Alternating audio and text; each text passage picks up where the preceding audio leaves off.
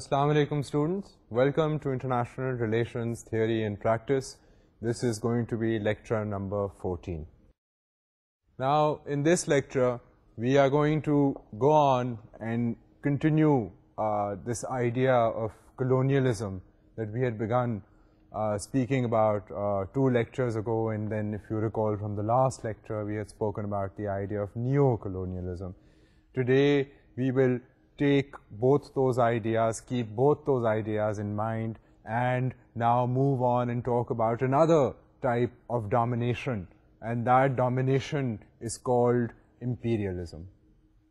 So that is going to be the focus for today we are going to look at how imperialism has taken place in the world. And imperialism is a particular type of domination. Like we spoke about colonialism, and we spoke about neo-colonialism as the new form of colonialism. Now we will talk about imperialism and the influence of imperialism in world politics. And when we talk about um, imperialism, we have to realize that imperialism is equally complicated.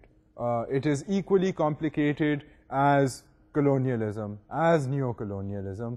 और ये इसकी जो नौयत है वो आप खुद ही अभी हम जाकर जब मिसालें वगैरह देखेंगे तो आपको खुद ही नज़र आएगा कि वाकई बैन अवी सतह पर इसकी नौयत जो है वो वाज हो जाएगी ये आई मीन कम अज़ कम आज के लेक्चर का आ, जो आप लोगों को फ़ायदा होएगा या आप इससे जो हासिल करेंगे by concentrating on this idea of imperialism is that you will understand a lot of the sort of tensions and a lot of the power dynamics that uh, have lingered on in the world जो पिछले uh, चंद decade से uh, हम क्योंकि जब focus करेंगे तो हम we will be looking at the recent past we will be looking at the past few decades अब हम सेंचुरीज की बात नहीं कर रहे हैं तो आपको नज़र आएगा कि इस वक्त जो करंट मौजूदा हालात हैं उसमें इम्पीरियलिज़म का क्या असर रहा है। सो so, अब हम without further adieu now let us focus on this idea of imperialism and see what it is all about so पहला हमारा सवाल है कि इम्पीरियलिज़म जी होता क्या है so now let me turn towards this idea and give you definition of imperialism. Imperialism is the process of extending the rule of government beyond the boundaries of its original state. So, जो अगर हम imperialism का मतलब देखें तो हमें ये नज़र आएगा कि जी imperialism जो है वो basically एक हकूमत की कोशिश है कि वो अपनी इन्फ्लुएंस को अपनी बाउंड्रीज से बाहर ले जाए और उस इन्फ्लुएंस ऑब्वियसली उस इन्फ्लुएंस के फिर फ़ायदे होते हैं आई I मीन mean, वरना government would not be interested कि वो अपनी इन्फ्लुएंस जो है वो बॉर्डर्स के अपने अक्रॉस लेकर जाए। आई I मीन mean, इसके मकासद होते हैं। हम उन मकासद की भी अभी ज़रा थोड़ी देर में चल के बात करते हैं कि क्यों स्टेट जो है या क्यों एक गवर्नमेंट जो है वो क्यों चाहती है कि उसकी इन्फ्लुएंस जो है वो बॉर्डर्स के अक्रॉस स्पिल ओवर करे। मगर from perusal of recent history अगर आप थोड़े से चंद डेकेड्स पहले के हालात को देखें तो आपको नज़र आएगा कि वाकई ही गवर्नमेंट्स ने स्टेट्स ने एक्टिवली कोशिश की है और उन्होंने अपना एक इम्पीरियल एम्पायर बनाने की कोशिश की है which has spanned across the globe I mean we will in in later parts of this lecture we will talk about uh, two or three imperialistic powers. मैं आपको मिसाल दूँगा दो तीन ममालिक की जिन्होंने, जिनकी हुकूमतों ने एक्टिवली अपनी पावर जो है, वो अपने बॉर्डर्स के बियॉन्ड क्या, तकरीबन पूरी दुनिया तक फैलाई। दुनिया के मुख्तलिफ़ कोनों तक फैलाई। सो so, ये जो आइडिया है इम्पीरियलिज्म का अगर हम इसको स्टेप बाय स्टेप लेकर चलें तो सबसे पहली बात तो ये है कि होता क्या इम्पीरियलिज्म इम्पीरियलिज्म ये होता है जब एक हुकूमत जो है वो कोशिश करे कि उसकी जो उसकी जो स्टेट है उसके बियॉन्ड उसकी इन्फ्लुएंस जो है वो मानी जाए और उसकी इन्फ्लुएंस का स्फेयर जो है वो इन लार्जन होए। Imperialism establishes a relationship, formal or informal, in which one state uses direct military or economic means to control the political sovereignty of another political entity. So basically, agar hum current world scenario ko dekhein, again by current I mean the past 5 decades, यानी कि पिछले 50 साल जो हैं जब से modern दुनिया की शेप जो है वो बननी शुरू हुई है। तो तब से आपको ये नज़र आएगा कि बेसिकली ये जो एक्सटर्नल इन्फ्लुएंसेस हैं ये हमने कई तो मिसालें ले ली हैं जहाँ पर there is been actually you know the use of military force so वो तो एक्सटर्नल फोर्सेस की वजह से the situation has been so complicated but there are also then informal mechanisms by which uh, this influence can can be exerted. मतलब ये इस तरह की जो इन्फ्लुएंस है ये ज़रूरी नहीं है कि uh, आपको नज़र आ रही हों चीज़ें। ये इनफॉर्मली भी कुछ मेकनिज़म्स हैं जिनके तहत इन्फ्लुएंस जो है वो एग्जर्ट होती है। अगर आपको याद हो मैंने आ, शायद पिछले लेक्चर में मिसाल दी थी आपको कि कर्ज़ों की। अब आपको अगर कर्ज़ों का आप अब शायद ज़्यादा आपको समझ आए इस बात की कि बैन अवी लेट से इदारे हैं। अब बैन अवी जो इदारे हैं जब वो आ, अगर हम वर्ल्ड बैंक या आईएमएफ की बात करते हैं वर्ल्ड बैंक से कर्ज़े तकरीबन सारी डेवलपिंग कंट्रीज़ देती हैं तो वो कर्ज़े सिर्फ़ आपको वैसे ही नहीं देते कि जी ठीक है आप जो मर्ज़ी करें। वो कर्ज़े जब देते हैं गरीब ममालिक को तो वो साथ उनके ऊपर कंडीशनैलिटीज़ लागू करते हैं। कंडीशनैलिटीज़ इस तरह लागू करते हैं कि जी आपने इस तरीके से पैसे को खर्च करना है। एंड उसमें खासा कसूर जो है वो गरीब ममालिक के हुक्मरान का भी है क्योंकि हुक्मरान ने जब पैसा आ, उनके पास मुल्क में आ जाता है तो they have nothing to show for it क्योंकि वो पैसा जो है, वो खर्च तो हो जाता है डिसपेयर कर जाता है, मगर सिचुएशन ऑन ग्राउंड जो है, वो बेहतर नहीं होती। तो इस वजह से और अपने इकोनॉमिक नज़रियात की वजह से वर्ल्ड बैंक जैसे इदारे जो हैं, वो फिर एक, उन्होंने एक पूरा फ्रेमवर्क बनाया है और बनाया था अब वो फ्रेमवर्क ज़रा आउटडेट हो गया है बट उस फ्रेमवर्क का नाम था स्ट्रक्चरल एडजस्टमेंट तो स्ट्रक्चरल एडजस्टमेंट जो था वो बेसिकली uh, स्ट्रक्चर को एक मुल्क के स्ट्रक्चर को एडजस्ट करने के लिए बनाया गया था। और उसमें कई कई किस्म की इकोनॉमिक पॉलिसीज़ वगैरह जो थी वो लागू होती थी और वो शराइत बन जाती थी कर्जे की। So now you can see के फॉर्मल एंड इनफॉर्मल मैकेनिज्म्स जो हैं, वो अप्लाई दुनिया में हो सकते हैं। इसलिए मैं आपको रियल लाइफ एग्जांपल्स दे रहा हूँ कि सिर्फ़ थेरी नहीं है। This theory is based on things which actually happen in the world and it is for us to be able to realise that and आप जितना इन बेसिक कॉन्सेप्ट को समझेंगे, फिर आपको जब आप खबरें सुनेंगे या इवेंट्स को देखेंगे तो आप सिर्फ़ वो नहीं सुनेंगे जो आपको न्यूज़ एंकर एक स्टोरी पढ़ के सुना रहा है बट आप उस सिचुएशन को एनालाइज कर सकेंगे। एंड उसको एनालाइज आप सिर्फ़ एक नज़रिए से नहीं आप उसको पचास नज़रियों से एनालाइज कर सकेंगे। सो so, ये फ़ायदा है इंटरनेशनल रिलेशंस पढ़ने का। और जिस तरह की दुनिया बन रही है जिस तरह इलेक्ट्रॉनिक मीडिया हमें इंफॉर्मेशन प्रोवाइड कर रहा है तो वो तो अब it is imperative for any intelligent person to be able to realize things uh, in a more complicated manner, in a more sophisticated manner. अब वो ज़माने गए कि जी आप एक कुएँ के मेंढक बन के पूरी ज़िंदगी गुजार सकते हैं that's not even possible any more अब जो हालात जिस तरह दुनिया में शेप हो रहे हैं उसमें it is not to do that. And some of these, uh, you know, big phenomena that, that, that we speak about in international relations have had a huge impact on the world.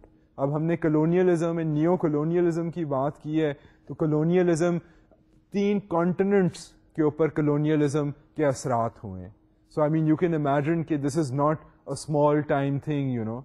I mean this is something that happened in Latin America, it happened in Africa, it happened in Asia it happened in South Asia आप जहाँ आप रह रहे हैं वहाँ पर this thing has happened and उसकी implications जो हैं वो अभी तक चल रही हैं। सो so, इसी तरह जो इम्पीरियलिज्म की जो बात है ये इम्पीरियलिज्म आई मीन इम्पीरियलिज्म का कॉन्सेप्ट जो है हम ज़्यादा इसकी हिस्ट्री में नहीं जाएँगे क्योंकि पहले भी पहले वक्तों में पहले ज़मानों में भी ताकतवर ममालिक जो थे उनके भी एम्पायर्स होते थे। मगर हम ज़रा इसको कंटेम्प्रेरी सर्कमस्टांसेस में मैं आपको फोकस आपकी अटेंशन को कर रहा हूँ टुवर्ड्स मोर करंट इवेंट्स बिलखसूस वो इवेंट्स जो पिछले पचास सालों में हुए after world war two the post world war two period and मैंने आपको अभी तक ये बताया कि जी, अब ये जो तरीका है इम्पीरियलिज्म का, वो एक तो सबसे पहले बात ये थी कि हुकूमत जब अपनी बाउंड्रीज के बियॉन्ड अपनी इन्फ्लुएंस चाहती है that has an imperialistic design सबसे पहली बात ये हो गई थी। दूसरी बात मैंने आपसे ये की थी कि जी इम्पीरियलिज्म जब होता है तो उसमें या फॉर्मल या इनफॉर्मल तरीक़ों से इम्पीरियलिज्म लागू हो सकता है और उसमें इकोनॉमिक शराइ जो हैं वो शामिल हैं। उसमें आ, सियासी और समाजी प्रेशर जो है वो भी हो सकता है और मिलिट्री इंटरवेंशन हो सकती है। आपको मैंने दुनिया की चंद मिसालें दी चंद और मिसालें जो हैं अगर आप अब कोरियाज में सिचुएशन देख लें या जो ताइवान के ऊपर जो टेंशन होती है यहाँ पर भी they are big games going on I mean you have you know big super powers of the world concerned about these situations, thinking that this is going to interfere with their sphere of influence. so, ये दुनिया में मतलब अभी तक इस तरह की जो टेंडेंसीज हैं लागू हैं अभी I don't want to give myself away मैं ज़रा थोड़ा सा सस्पेंस आपके लिए क्रिएट कर रहा हूँ, क्योंकि मैं आपको दो तीन वाजे आपके सामने एग्जाम्पल्स रखूँगा कि इम्पीरियलिज्म दुनिया में क्या हुआ है। दो तीन ममालिक जिन्होंने बिग टाइम इम्पीरियलिज्म प्रैक्टिस किया है, ना आपको अंदेशा वैसे ही होएगा आई एम श्योर उनके बारे में बट हम उन मिसालों की तरफ़ जाएँगे। अभी हम ज़रा थोड़ा सा थ्योरी को थोड़ा सा स्टडी कर लें। सो so, अब बेसिकली ये हमारी समझ में बात लग गई होएगी कि ये जो इम्पीरियलिज्म का आइडिया है ये भी कॉम्प्लिकेटेड है. ये भी कलोनियलिज्म की तरह it's a strange creature so it is a strange creature in the sense that it operates on many levels, on, on a multi-dimensional, on a multi-dimensional, on a complex level. And ये हमारी तंग नजरी होगी या कि अगर हम समझ लें कि जी फला मुल्क जो है वो तो इम्पीरियलिस्ट मुल्क है और वो हम सारे उस मुल्क के दुश्मन हो जाएँ। आई I मीन mean, वो इंटरनेशनल रिलेशंस के लिहाज से बेवकूफ़ी होएगी ना समझी होएगी। Because it will just be taking one viewpoint and saying that this is it बाकी सारे जो हैं वो बकवास करते हैं। एंड इंटरनेशनल रिलेशंस जो है हमें वो कम अज़ कम ये सिखाती है कि दुनिया जो है वो इतनी पेचीद, उसमें इतनी पेचीदगियाँ हैं कि आपको कई नज़रियात जो हैं, उससे एक चीज़ को जब आप देखेंगे, फिर आपको एक चीज़ के बारे में गहरी समझ आएगी।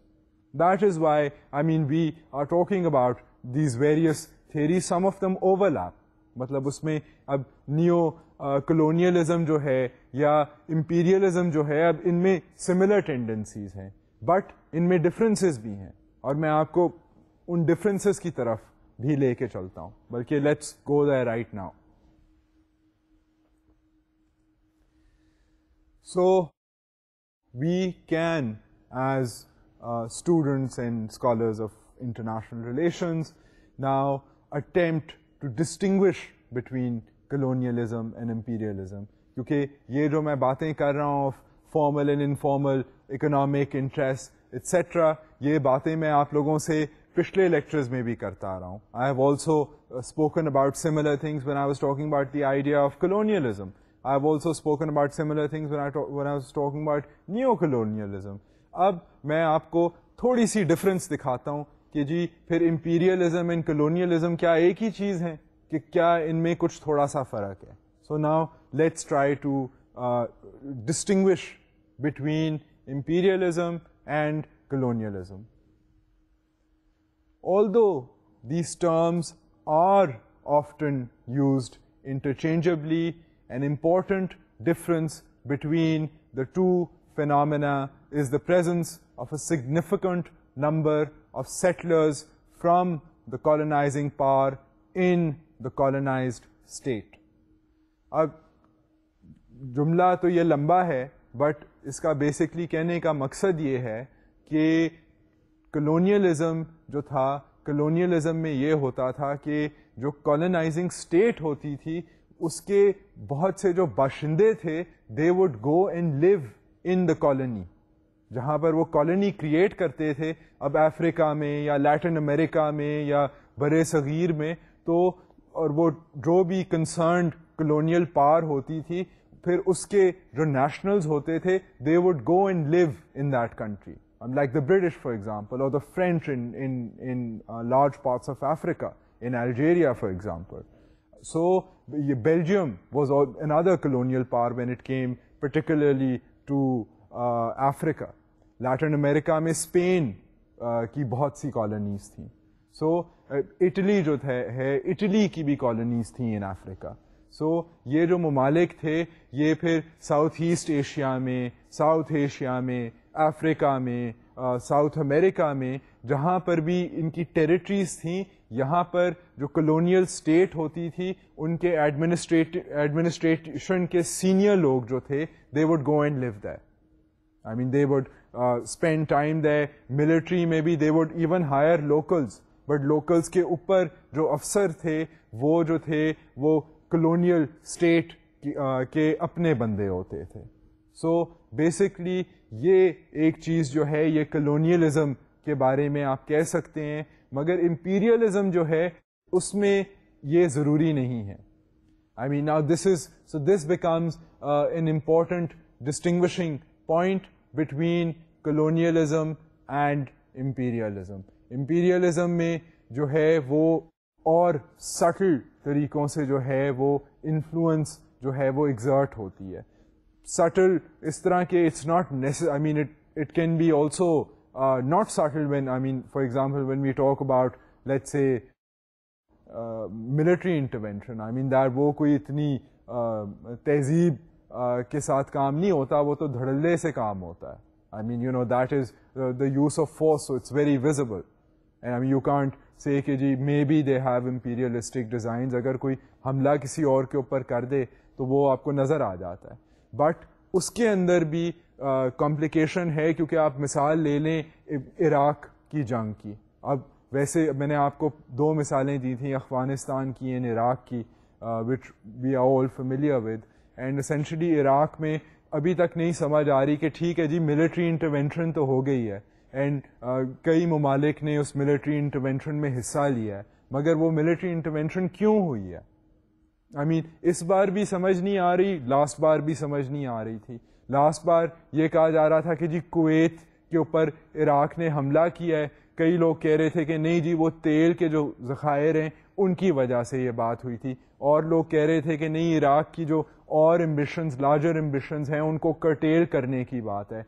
औरों का ख्याल था कि नहीं the U S wants to increase its sphere of influence in the Middle East so ये इसलिए इराक पर हमला हुआ था। So these are all contending viewpoints अब इसी तरह आप अगर करंट जो जो रिकरेंट फिर टेंशन हुई या मिलिट्री जो जंग हुई in Iraq the second time around उसमें भी one doesn't know I mean वो जो वेपन्स ऑफ़ मैस डिस्ट्रक्शन की बात है, वो तो नहीं मिले। So I mean then one can wonder के क्या क्या वजूहत थी मिलिट्री एक्शन की। मगर अब basically the difference becomes that the idea in this current framework would be के no country would want to live in in Iraq permanently I mean अब ये हो सकता है कि उस मुल्क के जो वेस्टेड इंटरेस्ट हैं वो अपनी वहाँ पर फर्म्स जो हैं वो इस्टेब्लिश कर दें या उनके जो पॉलिटिकल सिस्टम्स हैं वो इस तरह के बना दें which are more more conducive and उसमें फ़ायदे भी हो सकते हैं नुकसान भी हो सकते हैं and I mean for an student of international relations it is important to see all sides of the picture. You know, we cannot ignore certain sides and concentrate on the other sides. just because something happens, we have to consider it. We can have our own opinion about it, but we have to know the facts. So we have to know all the facts and then make up our mind. If we make up our mind before then, then our opinion will not be a very informed one. फिर हमारा बस सरसरी सा knowledge वो सुनी सुनाई बात जो होती है वो होएगी सो so, बेसिकली मैं आपको थोड़ा सा टॉपिक से हट के असल दुनिया की मैंने आपको मिसाल मजबूरन दे ही दी है बट ये है कि बेसिकली आप नाउ यू कैन रियलाइज़ कि कितनी पेचीदगियाँ होती हैं। I mean it is not on the surface of it but हम जब डिस्टिंग्विशिंग की बात कर रहे हैं कलोनियलिज्म से हम इम्पीरियलिज्म को जब डिस्टिंग्विश कर रहे हैं तो हम आसानी से ये कह सकते हैं कि जी कलोनियलिज्म में तो ये होता था कि जो कॉलोनाइजिंग कंट्री थी उसके जो लोग थे ऑफिसर्स वगैरह थे चाहे वो मिलिट्री के हों चाहे वो इकोनॉमिक हों चाहे वो कल्चरल सतह पर हों वो जाकर दूसरे मुल्क में रहते थे। सो so, एट्रल उनकी प्रोलॉन्ग्ड रहते थे। ये नहीं कि साल दो साल के लिए जब तक उनका एक और सिस्टम नहीं बन जाता तब तक नहीं या सिक्योरिटी को कंट्रोल करने के लिए नहीं रहते थे वहाँ पर। सो so, ये एक वाज डिफरेंस है इंपीरियलिज्म एंड कलोनियलिज्म में। Imperialism tries to go for other types of intervention to sustain its influence. It doesn't necessarily mean कि उस मुल्क के लोग जो हैं वो दूसरे मुल्क में जाकर रहना शुरू कर दें फॉर एवर आई मीन वैसे तो जाते हैं। आई मीन इम्पीरियलिज्म की अगर हम बात करें, मुख्तलिफ़ दो तीन मेजर ममालिक हैं दुनिया में, जिन्होंने इम्पीरियलिज्म पिछले पचास सालों में एविडेंटली किया है। तो ये नहीं कि फिर उन मुल्कों के लोग जाते नहीं हैं। अब इराक में अमेरिकन तो हैं इस वक्त but the idea is that they are there for a very limited time frame जब तक वहाँ पर हुकूमत बहाल नहीं होती और जब तक उनके अपने सिस्टम्स नहीं चल जाते। So there is a difference अगर कॉलोनाइजेशन होती तो वहाँ फिर वो जाकर पक्के बैठ जाते। Whereas settlement may be the most important feature of colonialism. It is generally acknowledged that colonialism involves much more than the immigration of people from one region to another. अब जब colonialism पे हम थोड़ा सा फोकस ज़रा revisit करते हैं colonialism के आइडिया को आपको याद होगा कि हमने दो एंगल से कलोनियलिज्म को देखा था। एक एंगल जो था वो स्लाइटली पॉजिटिव था और एक स्लाइटली नेगेटिव था। जो नेगेटिव एंगल था वो कह रहा था कि जी वो जो सुपीरियोरिटी एंड इन्फीरियोरिटी कॉम्प्लेक्स बन जाता है वो बहुत डैमेजिंग uh, होता है उन लोगों के लिए जो कॉलोनाइज्ड होते हैं। बिकॉज़ दे स्टार्ट फीलिंग कि हमें जिसने कॉलोनाइज किया है वो हमारे से सुपीरियर है हम उससे इन्फीरियर हैं हमारे तरीके नहीं सही। जो हमें, हमारे ऊपर हुक्मरानी कर रहा है, उसके तरीके बहुत सही हैं। तो ये एक साइकोलॉजिकल इन्फीरियोरिटी कॉम्प्लेक्स के शिकार हो जाते हैं लोग। That's the negative view the positive view was that नहीं, क्योंकि इतनी एक ताकतवर अगर कौम, दूसरी कौम के ऊपर आकर हुक्मरानी करे तो जो कम ताकतवर कौम होती है, जिसके ऊपर हुक्मरानी हो रही होती है, वो जो है, वो इम्प्रूव कर जाती है। वो उसके जो सिस्टम्स नहीं डेवलप हुए होते, उसके सिस्टम्स डेवलप हो जाते हैं। And we had use the example कि ऑफ़ सिंगापुर सिंगापुर का कई लोगों ने ज़िक्र किया है कि जी देखें, वहाँ पर पहले क्या हालात थे और अब देखें कितनी डायनामिक जगह है सिंगापुर एंड वो कलोनियलिज्म की वजह से हुआ है। वो इसलिए हुआ है कि वहाँ पर कलोनियलिज्म का फिनमिना लागू हुआ था। बट बाय एंड लार्ज जहाँ दुनिया के बाकी ममालिक हैं, वहाँ पर आप देखें तो उनके हालात जो हैं, वो दे आर नॉट एनवीएबल मतलब वन डजन से कि, वाह जी, यहाँ तो कलोनियलिज्म आया था और देखें अब यहाँ की कितनी खुशहाली है यहाँ पर.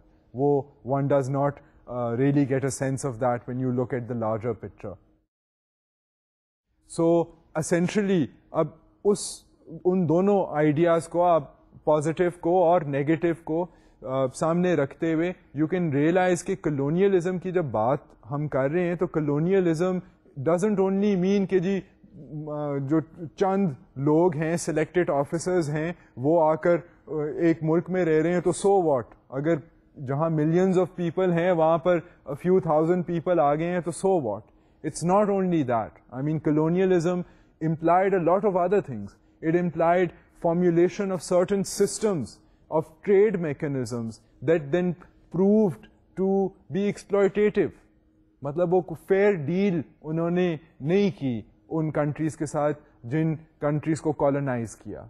सो so, ये मैं I I wanted to bring this to your notice I mean even if you want to argue के फेयर डील की the fact of the matter is that a lot of other changes happened सिर्फ़ जो थे चंद लोग जाकर एक और मुल्क में उन्होंने रहना शुरू नहीं कर दिया उन्होंने उनके सिस्टम्स के साथ टेम्पर करना शुरू कर दिया फॉर गुड और for bad according to Michael Doyle the possible outcomes of imperialism, achieved either by force, by political collaboration, by economic, social or cultural dependence.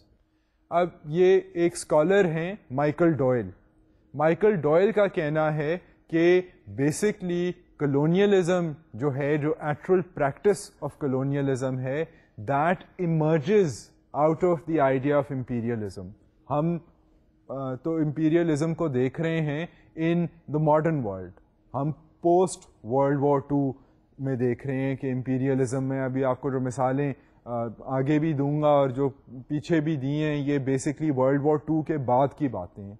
But theoretically speaking जो Doyle हैं, ये कहते हैं कि इंपीरियलिज्म का जो idea है, ये बेसिकली बहुत पुराना है मैंने भी आपको थोड़ा सा कहा था कि मैं फोकस कर रहा हूँ on this time period but that doesn't mean कि imperialism didn't exist before and according to this particular theory colonialism emerged out of imperialistic feelings. I mean, out of imperialistic designs of a state. एक state जिसमें power उसकी increase हो रही है उसकी technology improve हो रही है उसकी मिलिट्री कैपेसिटी इंप्रूव हो रही है तो साथ साथ उसमें ये नोटिस किया गया है कि उसमें फिर इंपीरियलिस्टिक टेंडेंसीज आनी शुरू हो गई हैं। It has wanted to extend its influence beyond its borders to try and grab the wealth of other countries, to try and uh, uh, implement its political system in other countries, to try and uh, get favorable terms of trade with other countries. So ये चीज़ें जो हैं ये according to Doyle now ये कहते हैं कि जी पहले imperialistic tendency होती है feeling पैदा होती है और फिर actually colonialism होता है so theoretically speaking इसकी जो थिंकिंग प्रोसेसिस uh, में अगर हम जाएँ तो वन कैन से कि जी इंपीरियलिज्म जो है वो पहले आता है और फिर उसके अंदर से कलोनियलिज्म का फिनोमेना निकलता है मीनिंग कि जब ये स्टेट ये चाहती है कि वो अपनी बाउंड्रीज से बाहर जाए तो फिर वो कॉलोनाइज करती है। Then it goes and creates colonies in various parts of the world जहाँ पर उसको मौका मिले, जहाँ पर अपॉर्चुनिटी मिले, वो फिर जाकर वहाँ कॉलोनाइजेशन कर देती है। So this is I thought this would be an interesting example to share with you क्योंकि हम तो बात कर रहे हैं बेसिकली इंपीरियलिज्म की after World War II, after the end of colonialism, after decolonization. But according to Doyle, imperialism की feeling जब तक नहीं होएगी तब तक colonization नहीं होएगी. So he thinks that that kind of feeling of imperialism has to exist before. And this shows that imperialism itself then is an older phenomena. I mean, we might be taking examples from the last 50 years, but imperialism ka jo phenomena hai, that has existed before. And I mean, if you consider ancient civilizations, ancient empires, they also expanded their influence. They expanded, I mean, their influence across many countries. अब जो आजकल की जो national boundaries हैं ये तो कई ममालिक आ जाते थे एक एम्पायर के अंदर तो वो भी तो इम्पीरियलिस्टिक सेंटिमेंट पर ही बात होती थी एंड फिर एम्पायर्स के आपस में झगड़े भी होते थे. I mean they use to be I mean Austro Hungarian empire and the Ottoman empire I mean they would have clashes over territory so international relations भी जो है, वो भी मतलब हम मॉडर्न वर्ल्ड को भी देख रहे हैं, मगर international relations also goes back a long way अब आई थिंक हमने इतनी ग्राउंड बना ली है कि now we can basically look and look at the actual phenomena of imperialism. And अब हमें इतनी समझ आ गई है कि जी इंपीरियलिज्म जो है वो होता क्या है। अब मगर हम उसी समझ को आगे बढ़ाते हैं थोड़ा सा और देखते हैं कि जी इंपीरियलिज्म के मकासद क्या होते हैं। ऑब्जेक्टिव्स जो हैं इंपीरियलिज्म के वो क्या हैं?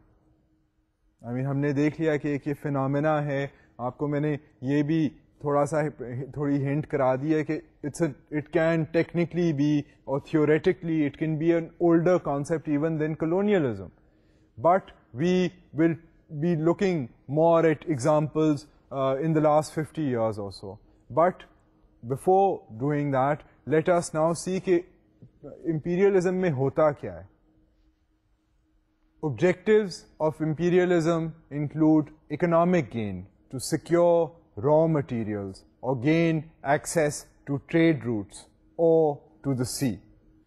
अब इसमें एक तो economic गेन हो सकता है इकोनॉमिक गेन में क्या है it is about access to markets it's about access to land routes sea routes it's about access to raw materials so एक तो ये मकसद है ये कलोनियलिज्म का भी मकसद था I mean it is argued that जो colonising uh, states थी वो कॉलोनीज uh, इसलिए मेंटेन करती थी कि उनको जो है uh, वो unlimited access to raw materials mil jaye because a lot of the African countries, Latin American countries, Asian countries uh, were agrarian. So वहाँ पर natural resources भी थी, forests भी थे, uh, cultivation भी हर किस्म की होती थी.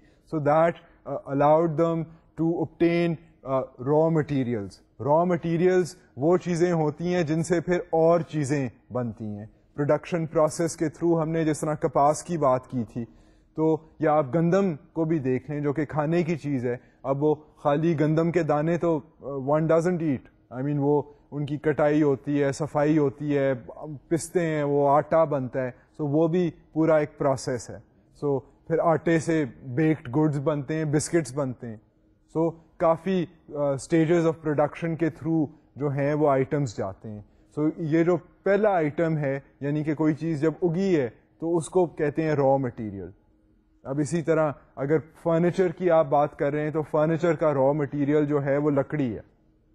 सो so, ये भी एक आर्ग्यूमेंट है कॉलोनियलिज्म uh, की और इसी तरह इंपीरियलिज्म की भी क्योंकि इंपीरियलिज्म भी जब एक एक स्टेट uh, अपनी बाउंड्रीज के बियॉन्ड जाएगी तो वो कोई मकसद के लिए ही जाएगी ना I mean no state will just go without a purpose कोई ऑब्जेक्टिव तो होएगा so some of these objectives can be the same objectives as colonialism and we already realize that इनमें कम फ़र्क है interchangeably you can use the term but from the perspective of IR we realize कि colonialism में एक चीज़ है कि वो लोग जाकर रहते थे दूसरे मुल्क में whereas in imperialism it doesn't necessarily have to be that way. So, अब हम उस ट्रेट को फॉलो करते हुए हम जा रहे हैं further and we are saying कि जी इंपीरियलिज्म में फिर मकसद क्या है? अच्छा चले, ठीक है, वो थोड़ा सा फ़र्क है देन कॉलोनियलिज्म बट इंपीरियलिज्म क्यों होता है? इंपीरियलिज्म भी लाइक कॉलोनियलिज्म इसलिए होता है to gain access to raw materials और for some other type of economic advantage so एक मकासद में से एक जो पहला मकसद हो गया वो इकोनॉमिक है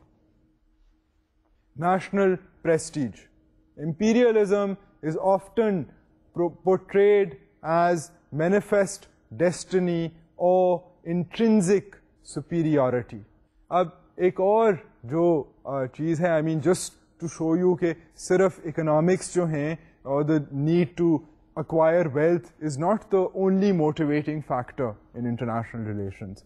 कई sentimental feelings जो हैं feelings जो हैं they also create uh, events I mean this is why हम जब बात करते हैं एम्पावरमेंट की तो वन सेज कि जी इंसान का जहन जो है वो इतना पावरफुल है आप अपना माइंड अपनी विल पावर एक चीज़ करने के लिए अगर आप डेडिकेट हो जाएँ तो nothing is impossible So that that basically indicates how human feelings have so much power. And these human feelings have power not only on an individual level, but also in an international political level.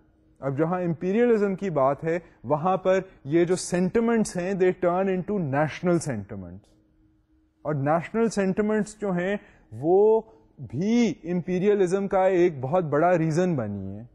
कि हमारी जी national prestige national pride है, हम इतने ताकतवर हैं, इतने बहादुर हैं we should go and conquer other places I mean ये दिस जज्बा has also motivated imperialism and ये दो किस्म के जज्बे हैं इसमें। एक तो अपनी सुपीरियोरिटी और वो सेंस ऑफ़ प्राइड है, और दूसरा है कि जी हमारी ये मैनिफेस्ट डेस्टिनी है, हमारी किस्मत है।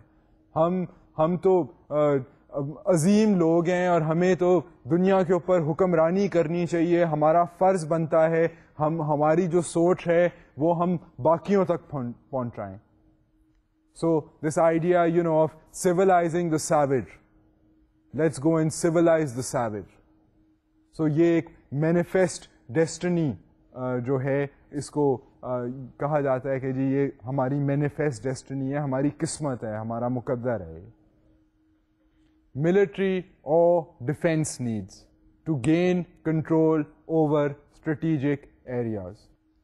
अब एक और जो रीज़न है इम्पीरियलिज्म का, और वो रीज़न आपको दुनिया में नज़र आएगा। मैंने आप ताइवान की एक मिसाल दी थी आपको। अब ताइवान का की अगर आप थोड़ी सी हिस्ट्री देखें तो आपको समझ आएगी कि जी ये चाइना और ताइवान का मसला क्या है।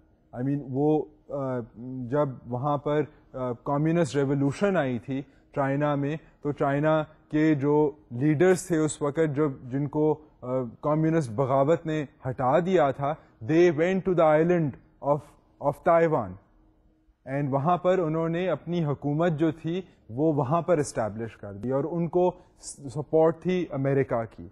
और जब हम बात करेंगे कम्युनिज्म की और कोल्ड वॉर की तो आपको ये आइडिया जो है ये आपको मज़ीद समझ आएगा। बट बेसिकली उस वक़्त ये इंटरनेशनल फोर्सेस की वजह से ये एक स्प्लिट एरिया बन गया।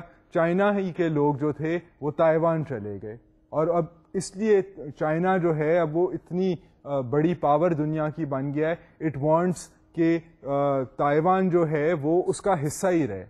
एंड बाकी जो ममालिक हैं दुनिया के जो सियासी तौर पे मुख्तलिफ़ तरीके से सोचते हैं दैन चाइना दे से कि नहीं जी चाइ, आप चाइना और ताइवान का जो ताल्लुक है वो नहीं है। ताइवान अब एक इंडिपेंडेंट मुल्क है। आप रहने दें ताइवान को और वो ट्रैक एंड बैलेंस भी है। उसके पीछे जो स्ट्रेटिजिक रीजंस हैं वो ये भी हैं कि चाइना के ऊपर थोड़ा सा कंट्रोल भी अप्लाई किया जाए क्योंकि एक ऐसी हुकूमत जो जो चाइना की जो कम्युनिस्ट पॉलिटिकल पार्टी है और निज़ाम है अब चाइना में कम्युनिज्म जो है वो ज़रा चाइना का ही कम्युनिज्म है it is different from the communism of the Soviet Union which which fell apart. It's I mean the the example of China is interesting, but then again we cannot go into this issue too deeply, as that will take too much time. But आपको सिर्फ़ मैं ये इस वक्त बताना चाह रहा हूँ, समझाना चाह रहा हूँ कि जी ये स्ट्रेटिजिक इंटरेस्ट जो हैं या मिलिट्री इंटरेस्ट जो हैं, ये भी इम्पीरियलिज्म का रीज़न बने हैं। I mean access to warm waters अब अगर कोई लैंड लॉक्ड कंट्री है तो वो it might invade an other country to gain access to the sea sea access होगा तो वो ट्रेड ज़्यादा आसानी से कर सकेगी for example So these are also motivating factors. Military concerns ho sakti hain. Let's say uh, uh, during the, the Afghan war, I mean, there were uh, military concerns. I mean, there were military concerns um, in a lot of other conflicts. I mean, there were military concerns in North and South Korea. I mean, there have been military concerns in uh, Cuba. Cuba, hum baat thodi si shayad mauka mile when we talk about the Cold War. तो वहाँ पर ये हुआ था कि Cuba को Soviet union से मिसल technology वगैरह मिल रही थी एंड अमेरिका जो था वो इमीजिएटली डर गया because it thought that it had communist in its backyard कि बिल्कुल ही करीब उनके, वैसे तो रूस अमेरिका से दूर था बट व्हेन दे रियलाइज़ के क्यूबा में भी कम्युनिस्ट गवर्नमेंट है और वो तो हमारे बिल्कुल ही करीब हैं और सोवियत यूनियन उनकी मदद कर रहा है तो अमेरिका बहुत डर गया। And it almost I mean ये एक पीरियड था इन द कोल्ड वॉर जबकि कॉन्फ्लिक्ट की पॉसिबिलिटी बहुत इन्हांस हो गई थी।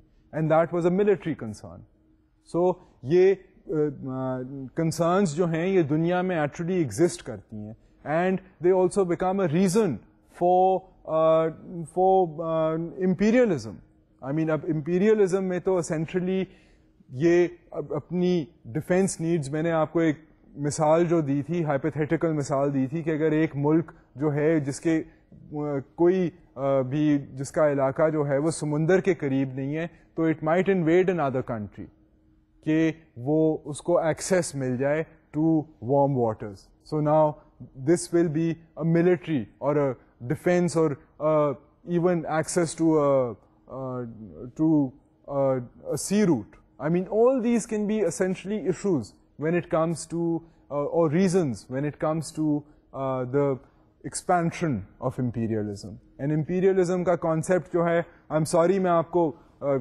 सारी अब मैं मिसालें जो हैं वो mix and match करके दे रहा हूँ, but दुनिया में this is what happens.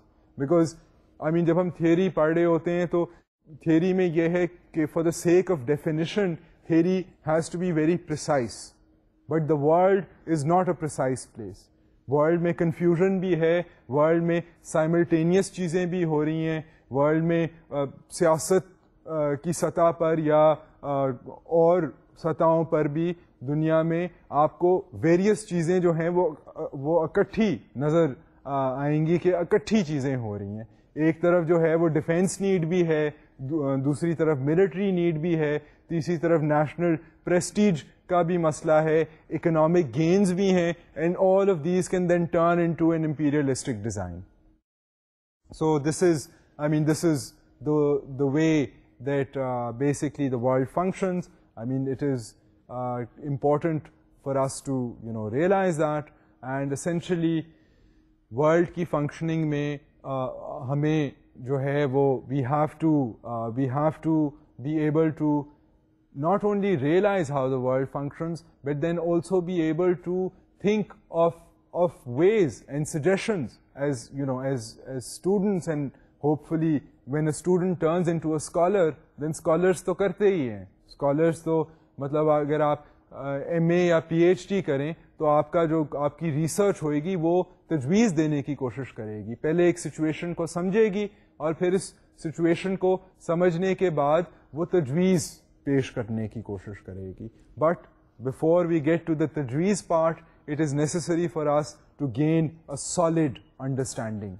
And to gain a solid understanding, now let me come back to the objectives of imperialism and uh, give you another objective. Surplus population. Overpopulated states can find relief through migration to colonies.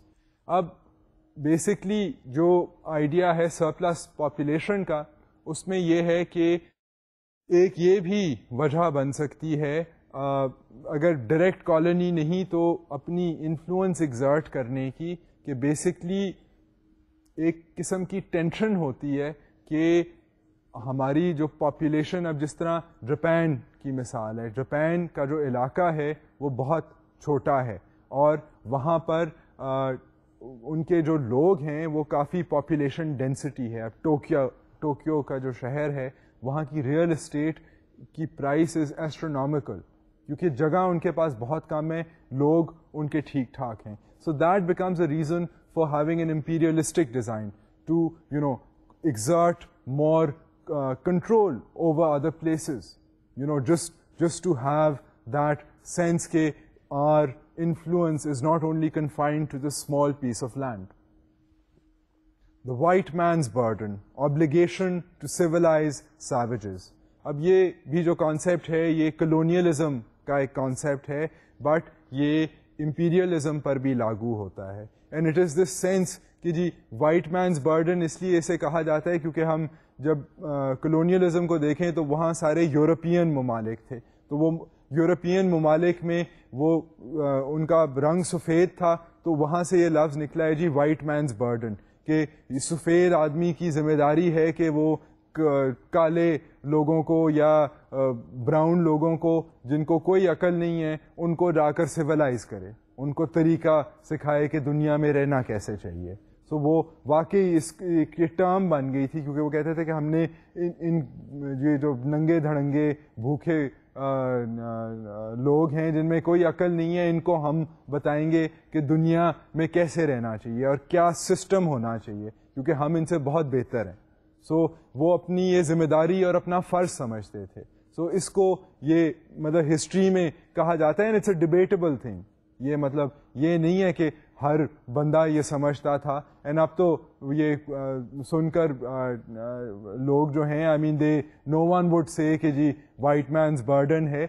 But basically ये एक history का history books में अक्सर जो term है, ये use होती है वाइट मैंस बर्डन कि ये जी कॉलोनाइजेशन में ये इंपीरियलिज्म में ये समझा जाता है कि जी, हम बेहतरी करना चाह रहे हैं। हम वहाँ पर जमहूरियत फैलाना चाह रहे हैं। हम वहाँ पर बराबरी लाना चाह रहे हैं। वहाँ पर हम एक एक जाबिर रजीम का का ख़ात्मा करना चाह रहे हैं सो so, ये जो है and it's not now necessarily only white man wanting to do this I mean they are other countries that have also been imperialistic. But this is just a useful term for you to know. Then there's the Marxist Leninist view. Imperialism is compelled by the need to control markets for surplus production and investment. The communists were imperialists too. अब जो communist हम बात करेंगे आगे जाके कि communism होता क्या है बट जो कम्युनिस्ट सोच थी, वो या मार्क्सिस्ट मार्क्स एक स्कॉलर थे जिन्होंने कम्युनिज्म की मूवमेंट की बहुत सी जो थेरीज थी, वो लिखी थी पहले उन्होंने थेरीज लिखी थी, फिर कम्युनिज्म ने उन थेरीज को इस्तेमाल करके एक सियासी मूवमेंट बनाई थी, जो रूस में फैली चाइना में फैली चाइना में थोड़ी सी तब्दील हो गई और रूस में तो ये कोल्ड वॉर के दौरान कम्युनिज्म जो था, इसका बहुत चर्चा था और बहुत से ममालिक में कम्युनिज्म की इन्फ्लुएंस जो थी वो फैल गई थी।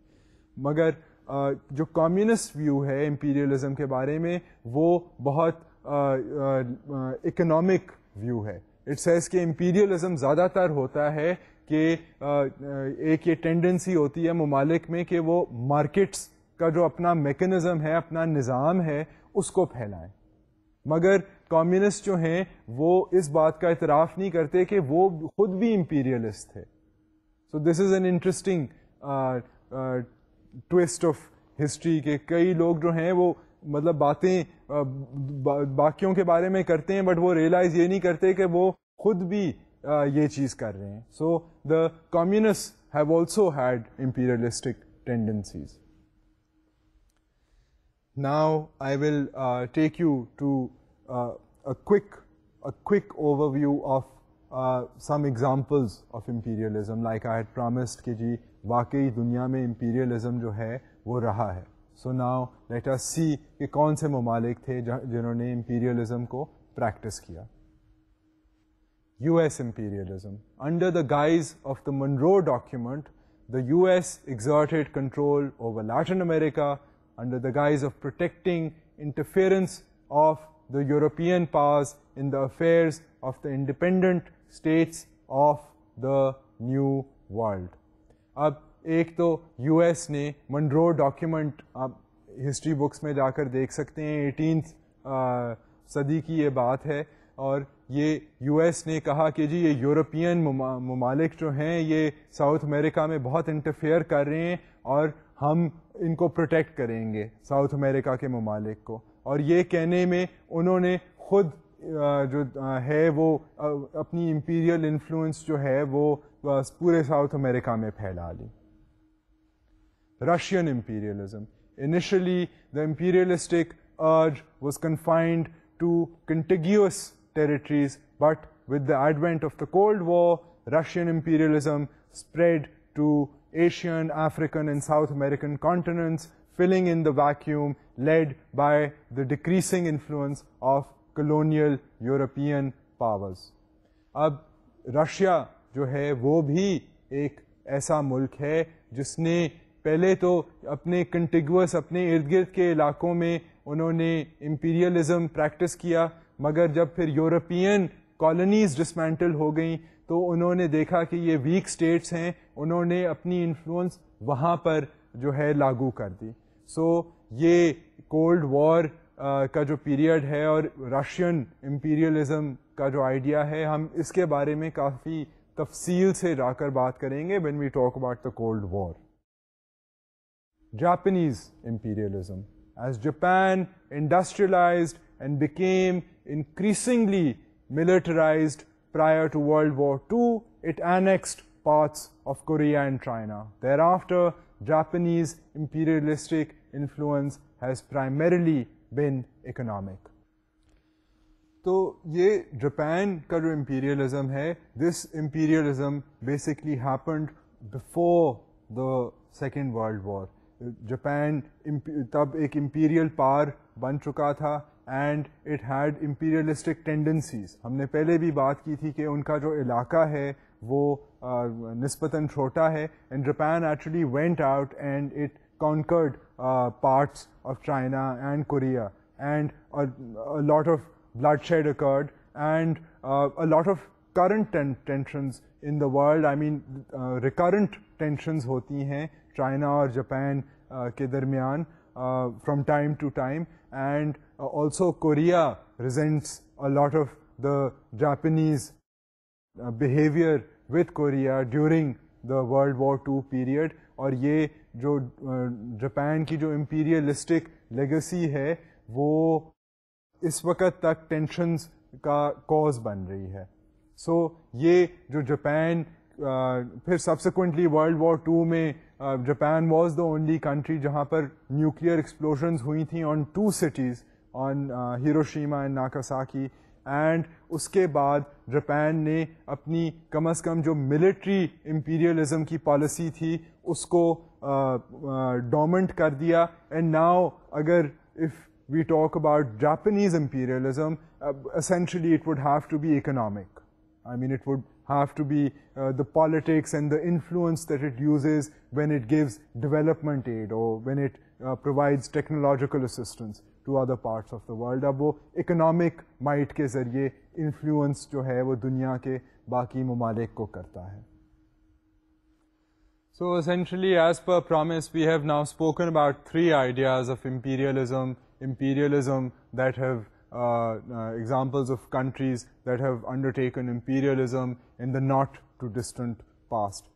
बिलखसूस जो दो ममालिक हैं यानी कि रूस और अमेरिका हम जब कोल्ड वॉर की बात करेंगे तो इन्होंने किस किस्म का इम्पीरियलिज्म जो है वो प्रैक्टिस किया हम उसके ऊपर और भी ज़्यादा फोकस करेंगे